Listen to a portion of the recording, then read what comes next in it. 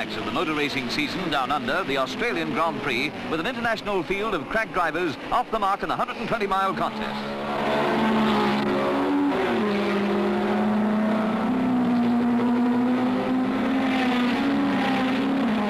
Number seven, New Zealander Bruce McLaren leads in the early laps with former world champion Jack Brabham on his heels.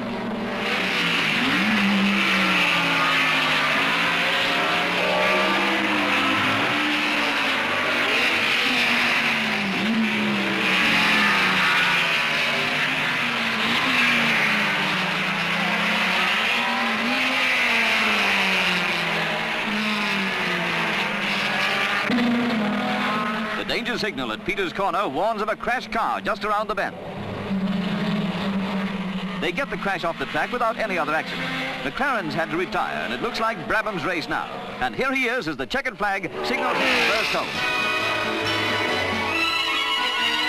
It's Jack's third victory in the Aussie Grand Prix, so the champagne's well earned.